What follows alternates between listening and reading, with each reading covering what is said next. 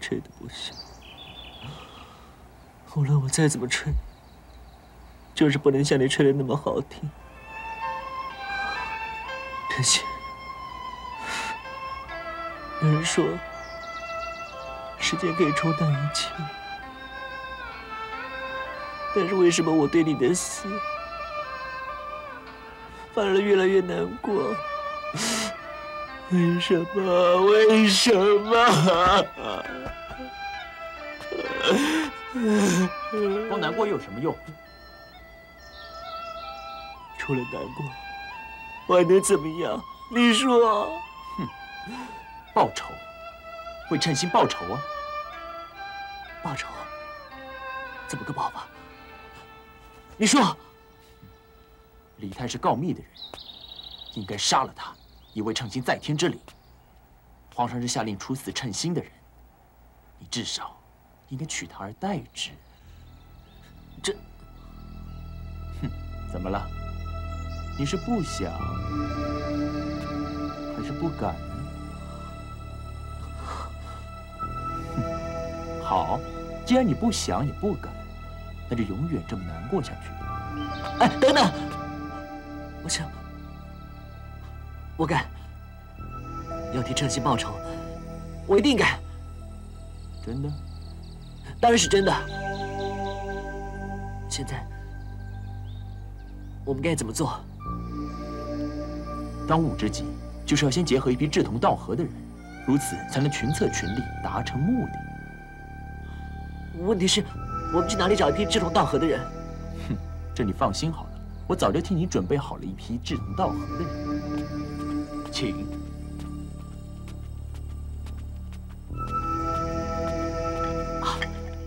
参见殿下。坐，各位请坐。谢殿下。来，请，请。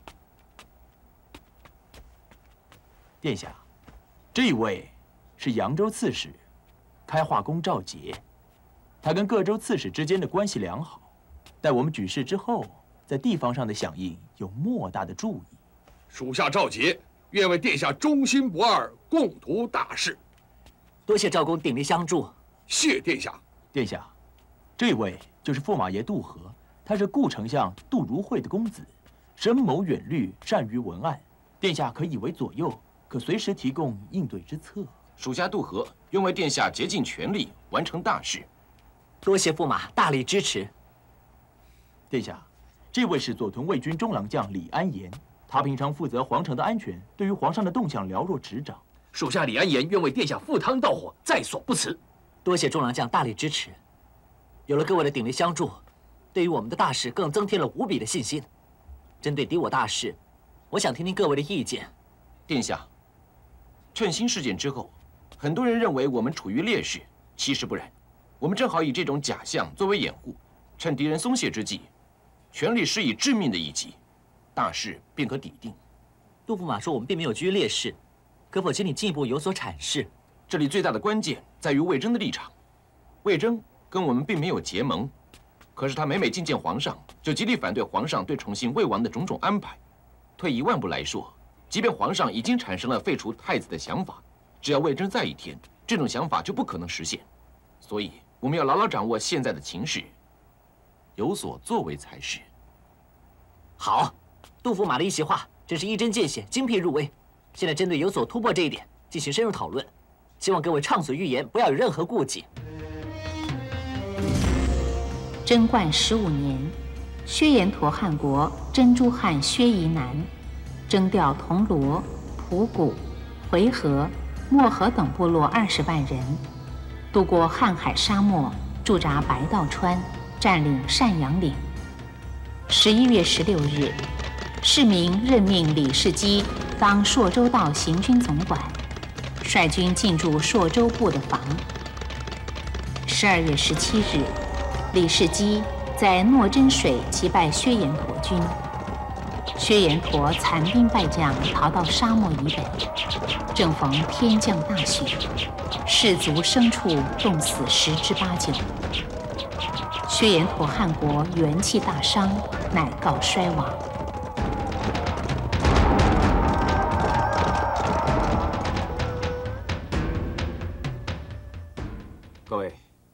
朕有二喜一怕，你们可知是什么？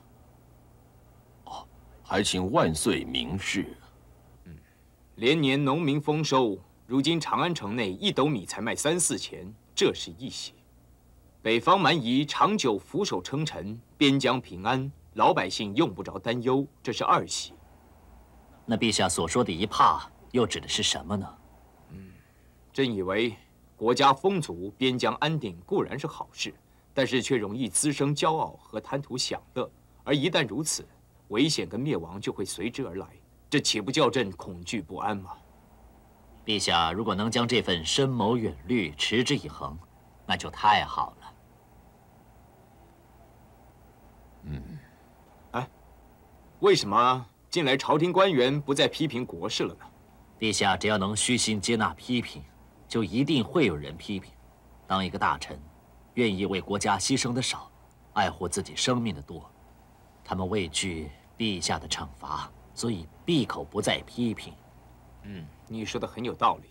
朕以为，如果官员说话冒犯，动不动就是诛杀，那么向君王进言规劝，跟战士在疆场上赴汤蹈火，用肉身跟利刀相搏，有什么差异呢？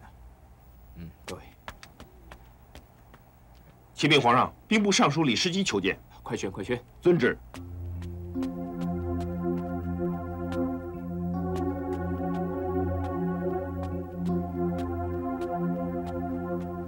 李世基叩见皇上，免礼免礼免礼。谢皇上。臣因病缠身，征讨薛延陀汗国，班师回朝，迄今才来觐见，望万岁见谅。世基，你罹患了什么病？要不要紧？哎，这样好了，朕立即派御医为你诊治。多谢万岁恩典，臣的病纯系水土不服所致，服了大夫的药，已经好了大半，但不能断除病根。呃，那么如何才能够断除病根呢？你说。大夫说，需在药中掺入一种龙须，一并煎熬，是能奏效啊。龙须，这个容易。李琴，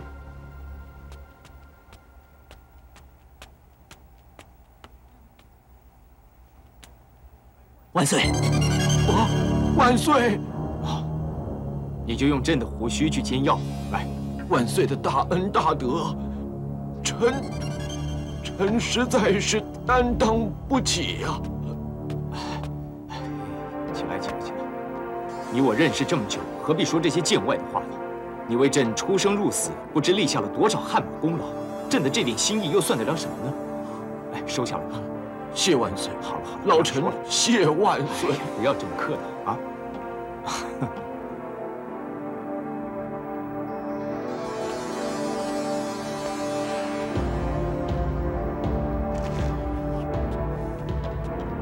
启禀皇上，党仁洪求见。快去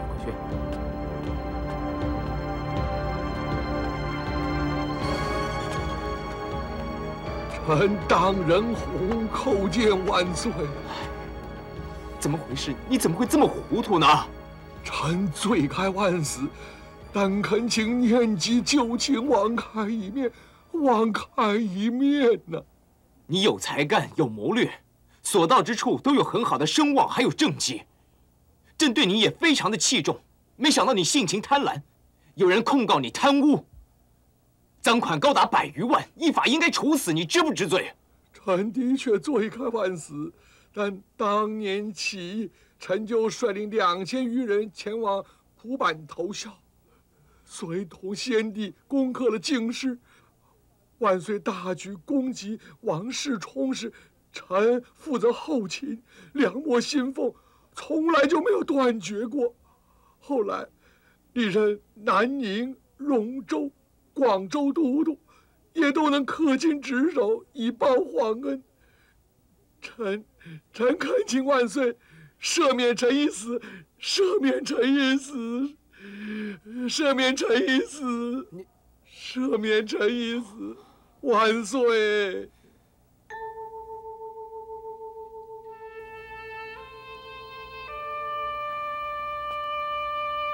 大理寺第五次上奏诛杀党人红，朕心怜他白发苍苍，竟被斩首，所以试着为他寻找活命的理由。可是朕左思右想了半天，却始终找不到一个合适的理由可以赦免党人红的罪名。因此，朕只好抛开刑律来向你们求情一国的国法。是一国之君接受天命制定的，不可以因为私情而失去了信誉。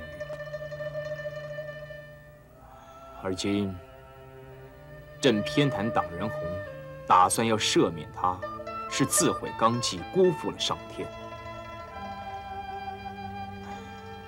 所以朕准备到城南郊野，睡在草席上面，要一连睡三天。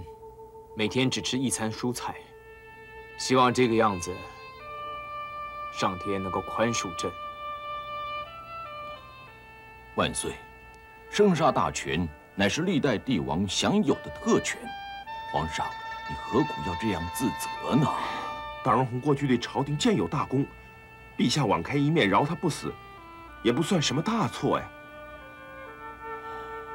不对，朕自认为有三罪。第一是对人的认识不够深刻，第二是因为私情而破坏国法，不能够做一个公公正正的君王；第三是欣赏善行却没有赏赐，厌恶贪赃枉法之人却不能够诛杀之。万岁。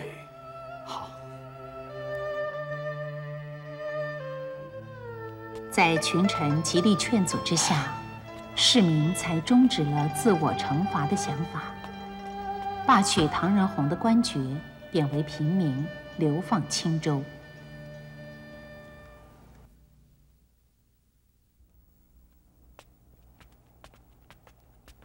父皇，太儿，来见朕有事吗？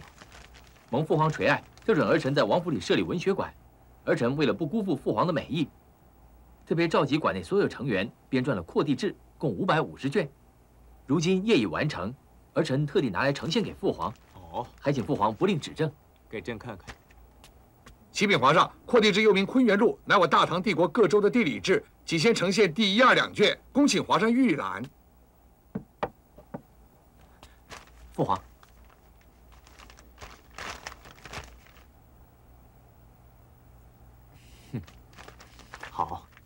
太儿，你辛苦了。文学馆创立不久就有如此辉煌成绩，实在是可喜可贺。如今朝廷一切已经上轨道，正需要《扩地志》这样的著作，对于今后的施政将会有莫大参考价值。多谢父皇的夸奖。呃，只是儿臣想要扩大文学馆的规模，以便聘请各方的学士，只是不知道父皇是否可以多拨点银两下来。哦，银两不成问题。朕自然会大大增加你的薪俸费用，多谢父皇。但是，儿臣的薪俸费用如果超过了东宫，是否妥当呢？你所做的事情比程前多，超过了又有什么关系呢？嗯，多谢父皇。不知道大哥近来可好？自从称心的事件之后，儿臣就不敢去东宫请安了。哎，好了好了，你不要再提程前这个人了。提到他，朕就生气。朕处决称心是为了他好啊！他不但不知醒悟，反而萎靡不振，宛如行尸走肉，托病不来上朝。朕对他失望透顶了。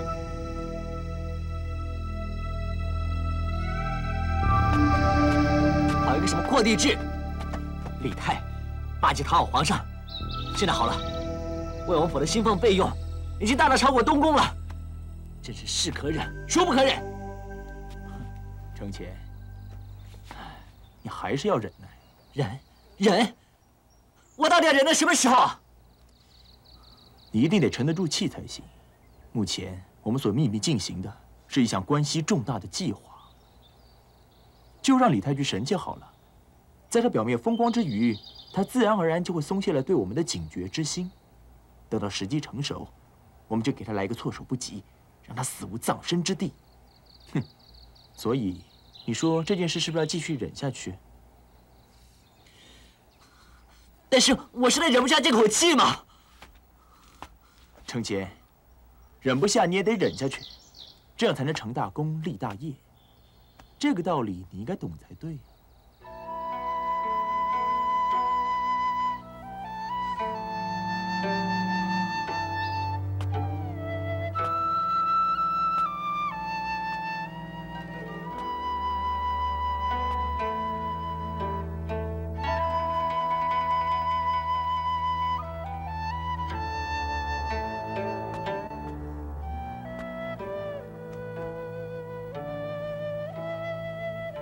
我深切明白，将程前托付给你，将会为你带来许多麻烦困扰。但是我也明白，一旦我离开了人世，程前失去依靠，极可能又会重蹈败坏的覆辙。到时候除了你，还有谁能救他于万劫不复的境地呢？因此，我在这儿恳求你，勉为其难，代我好好照顾程前。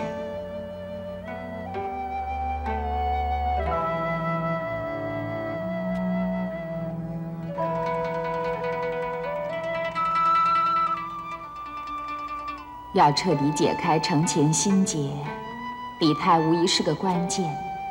长久以来，程前都生活在李泰的竞争压力之下。如果能够让李泰去除处处想胜过程前的心理作为，或许就能釜底抽薪的让程前得以无所畏惧的面对自己，进而积极进取向上。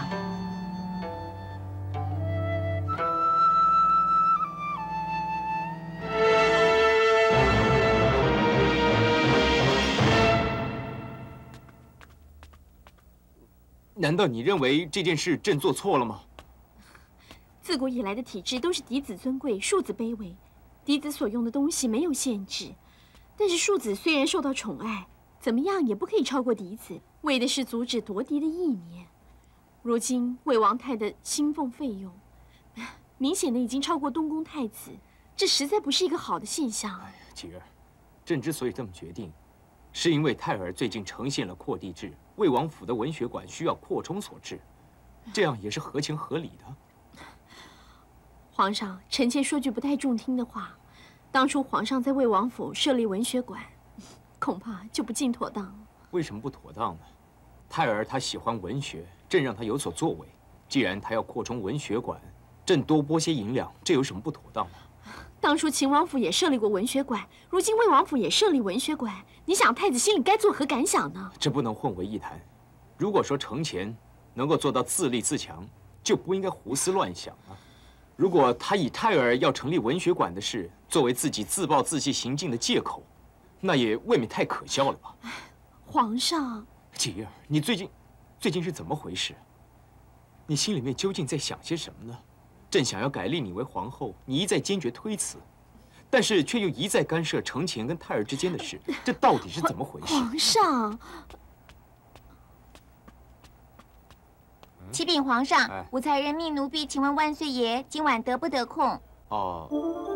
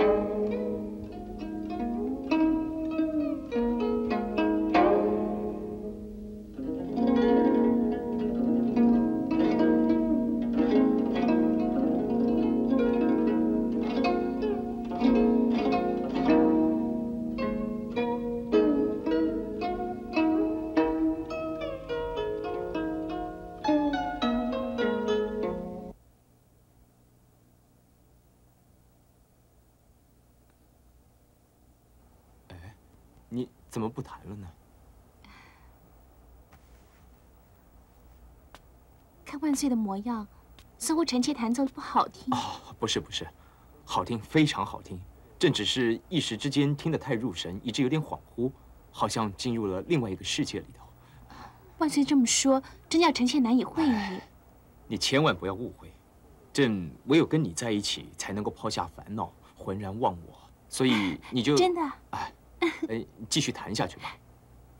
臣妾遵旨。武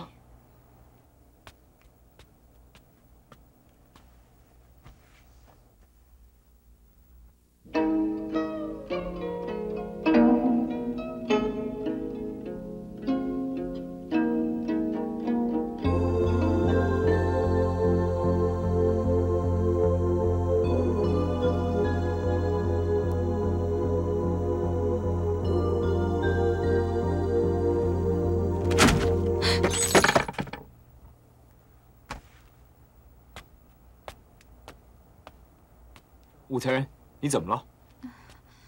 臣妾给万岁送茶水，适逢万岁龙颜震怒，臣妾把茶杯给打破了，请万岁恕罪。哎，这也不能够怪你啊！正是为了那些文人的笔下信手乱写，史书上写秦始皇在娘胎当中十几个月是杂种，你信不信这种说法呢？简直是信口开河嘛！万岁，秦始皇是焚书坑儒，得罪了文人，所以文人才报复他。但是这么做，文人也实在太过分了，信笔乱写秦始皇，叫秦始皇遗秀后世。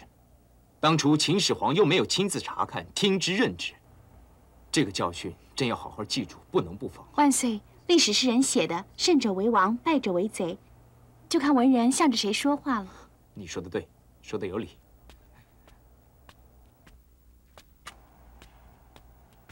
万岁。臣将经上实录尽写。臣妾告退。好。啊。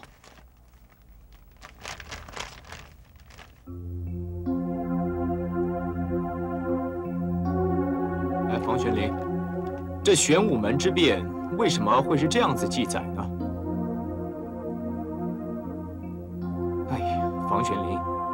当年周公为了安定周朝而杀掉哥哥管叔，既有为了鲁国的利益而毒死了哥哥叔牙，朕除建成原籍，也跟周公既有一样，为了天下百姓，史官可据实记载，有什么好忌讳？为什么要语言吞吞吐吐、隐晦曲折呢？万岁，这、这、这，好，好，让臣，让臣回去和褚遂良修改修改。好。修改好了，待朕亲自审阅之后再行定稿。啊，去吧。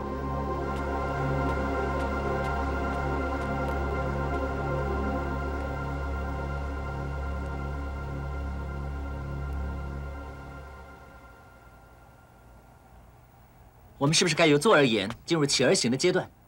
我们是不是该采取实际行动来完成谋略大计呢？属下认为，天象既然发生变化。那我们就应该用实际行动来响应。太子只要声称得了疾病，生命垂危，那么皇上一定会来探望，那时候我们的大计就能成功了。嗯，元昌，你认为呢？我认为，我们还缺少一个人。缺少一个什么样的人？我认为，以我们目前的实力，仅足以自保。要发起任何行动，都必须先将假想敌人诱入东宫，再加以歼灭。而不能主动选择在东宫以外的地方进行决战，其中最主要的原因就是因为我们没有兵权。不知各位以为然否？元昌，这么说，我们可是缺少一个拥有兵权的人。不错。你心里可有这么一个人选？有。他是谁？侯君集。侯君集。现任吏部尚书侯君集。曾经担任过兵部尚书，也曾经统帅大军，先后灭亡过吐谷浑汗国和高昌王国。后来因为私自盗取高昌王国的奇珍异宝，一度被皇上囚禁监狱。虽然释放，但调任闲差，心中愤愤不平，早已有所不满。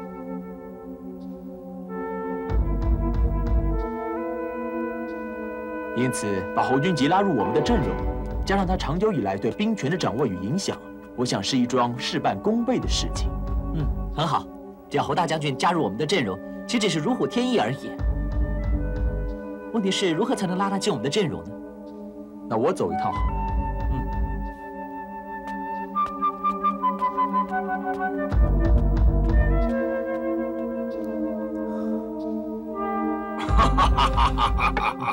李承乾岂是能成大事的人？尚书大人的意思是，哼，李承乾想扳倒魏王李泰，竟然想取李世民而代之。依我看来，简直是一桩以卵击石、缘木求鱼的妄图梦想。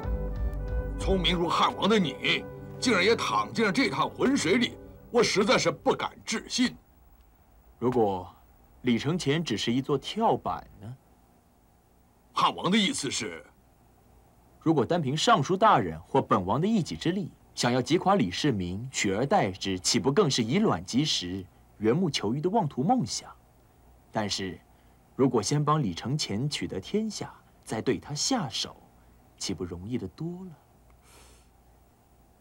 机不可失，现在立刻请尚书大人随同在下到东宫。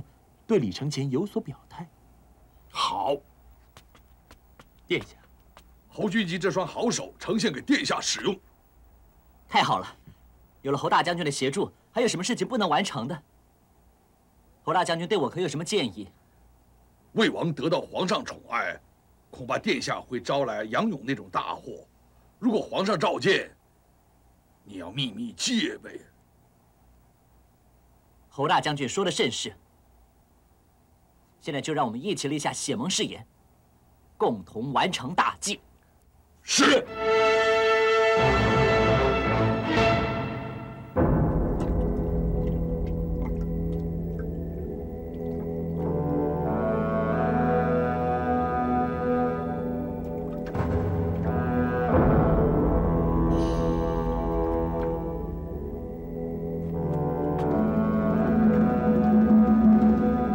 我等对天发誓，不达目的绝不罢休。跟。如今箭上弦，不得不发。我们第一步行动应该如何着手？我们不打没有把握的仗，当务之急当然是先除掉魏王李泰了。很好。问题是如何才能除掉李泰？哼，在这东宫之中，太子身旁已经有一个被李泰收买的内奸。内奸是谁？一个叫崔英的进士。崔英。是他，我要杀了他！我要杀了他！殿下，杀了他不是太便宜了他了吗？难道就这样白白放过他？哼，我已经替殿下想到了一个好的处置办法。什么处置办法？你说。李泰既然可以收买这个内奸，那我们何不将计就计，反过来利用这个内奸，不费一兵一卒的去帮我们除掉李泰？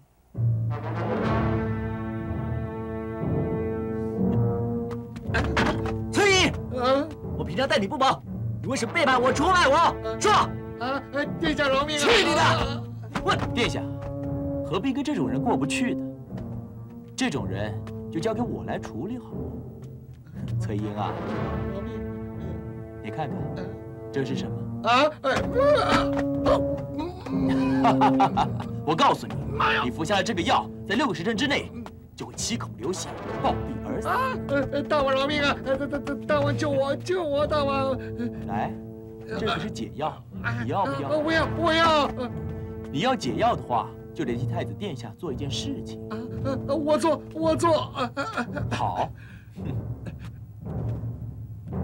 这把匕首已经用毒药擦过，见血封口。现在你带着他到魏王府，就说有十万火急的情报要见魏王。然后趁机接近李泰，用匕首杀了他。事成之后，你就可以得到解药。我我小的做，小的做不到，哎，做不到，做不到。好啊，那么你就等死吧。小的，小的去就是了。好，快去快回，六个时辰足够你做这件事情。啊啊，我我去，我去，我去，我我我去。元昌，你这个办法可真好，不费吹灰之力就可以除掉李泰。崔英回来之后，你会给他解药吗？太子，你说呢？这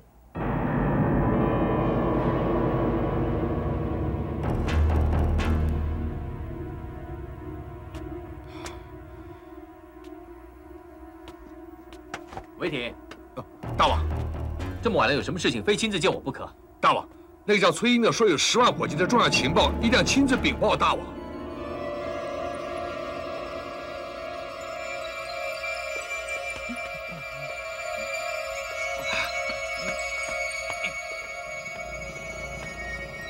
崔英啊，大王，有什么事非要现在跟我说不可？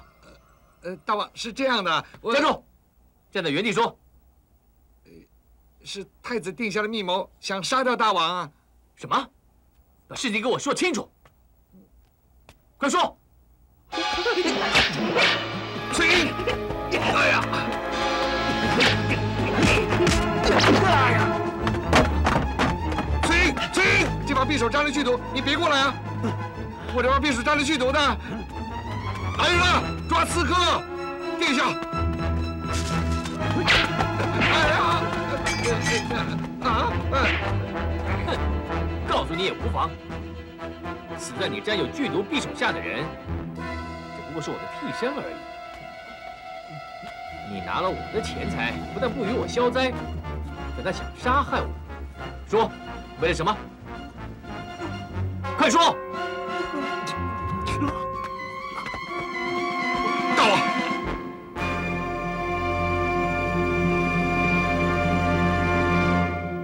替身，想不到李太竟然玩起替身的把戏，这不就使得我们前功尽弃了吗？这样一来啊，我们的意图岂不被魏王洞悉无疑了吗？倘若他将此事禀报皇上，事情不就更棘手了？这该如何是好呢？不但除不了李泰，反遭封皇怪罪，这就叫偷鸡不着蚀把米了。殿下，请放心，我敢担保，魏王绝对不敢声张此事。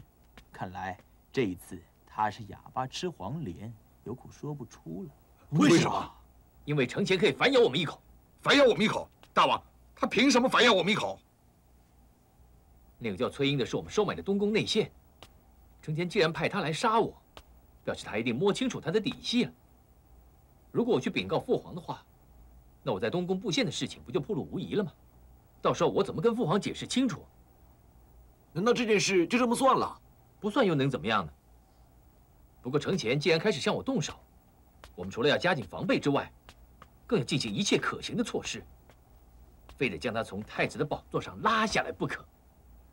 大王，在这件事情上，也许我们是吃了点亏，但在另外一件事情上，我们却是大大的有利啊。什么事情对我们有利？大王，魏征不是对皇上宠爱大王一直大唱反调吗？现在我听说他病了，而且病得不轻呢。太好了，这个老匹夫最好一病不起。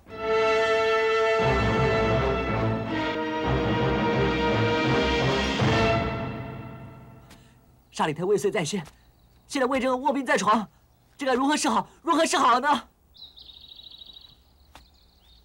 这情况的确很糟，很糟。远昌，到底糟到什么程度？先皇后在世的时候，是保障你太子地位的一个最大的屏障。先皇后过世以后，逢老天的保佑，魏征凭着一个“李”字，也成为保障你太子地位的一个屏障。如今魏征病倒了，万一他那么一病不起的话，那你就什么屏障都没有。那怎么办？那怎么办呢？当今之计，除了保佑老天让魏征不要一病不起之外，我们也只有，也就什么？远昌，你说，你说嘛？也只有积极准备，提早发难起事了。提早发难起事？怎么？你忘了陈清怎么死的？我，你忘了你要杀李泰，取皇上而代之的大计了吗？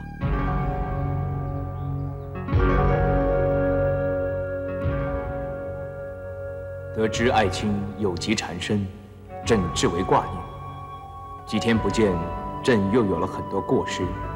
本来要亲自去看你，又恐怕增加你的劳负。如果有什么建议，请用密封奏章好了。近来学生凌辱师长，奴婢轻视诸人，部属很多看不起长官，都有他的原因。不应该任其长此下去。此外，陛下主持朝会，宣称是如何的大公无私。可是退朝之后，对事情的处理却未免偏颇。为了怕别人知道内情，因而犯言直谏，往往突然间大发雷霆，用来堵塞言路。想不到真相反而欲盖弥彰，如此作为岂是明君之举？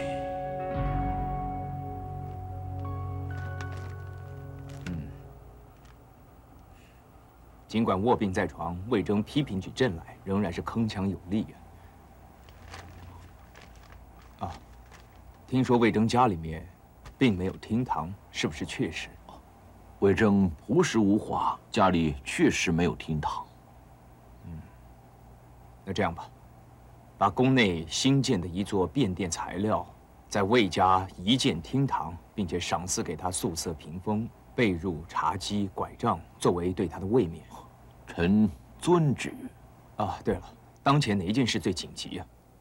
当前天下太平，唯有太子行为不检，魏王受到宠爱，文武官员每天议论纷纷，有的站在太子一边，有的则站在魏王一边，长久下去恐怕不是好事。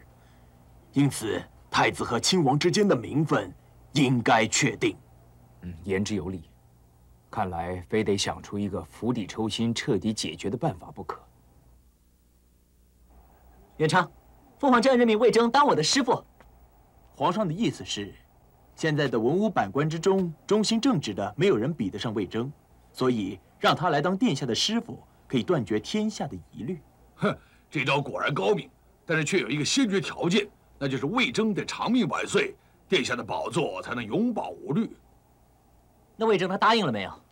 魏征在病势好转的时候，曾亲至金銮宝殿上书辞让，皇上亲笔写谕诏，说是知道他有病在身，请他躺在床上照顾殿下，所以魏征就接受任命了。殿下，有了魏征当殿下的太师，就等于替我们争取到了缓冲的时间。我们也只有好好利用这段时间，积极准备，全面部署，唯有如此，才能促成我们的大计。嗯。杜驸马讲的非常有道理。安言呢？今天怎么没见到他人呢？殿下，殿下，殿下，魏太师的病情转坏了。这这消息正确吗？万岁前不久命令属下驻守魏府，随时通报魏太师病况。属下这就赶回魏府去了。好，你快去。是。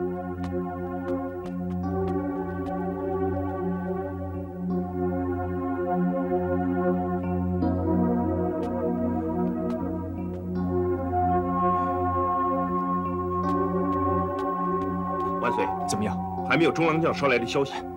怀泰，遵旨。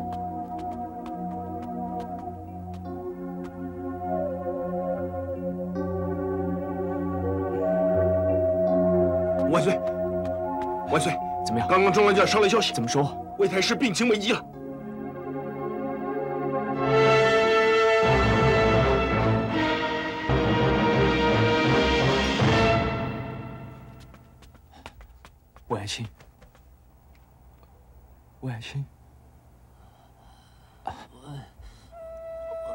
哎，好，不要动，你休息。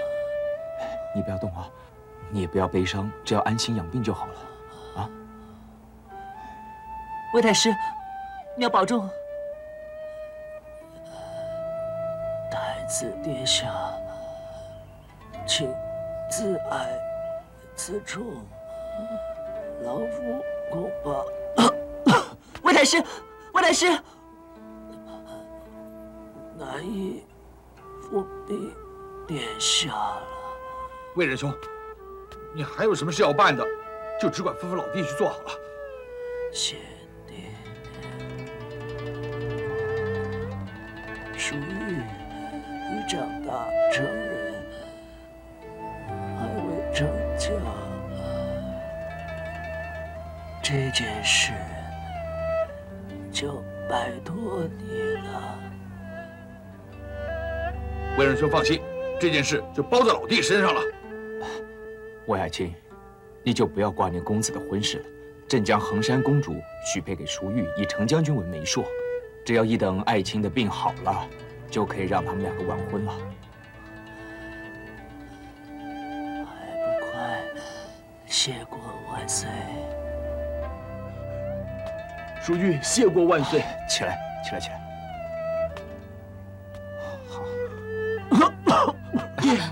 爷，爹，爱卿，老爷，爱卿，爹，老爷，魏征谢过，爹，老爷，爱卿，老爷，爱卿，爱卿，爱卿，老爷，爱卿，魏太师，魏太师，老爷，爹，老爷，爱卿，爱卿，爱卿，太师，爱卿，老爷，老爷，太师，老爷，太师，老爷，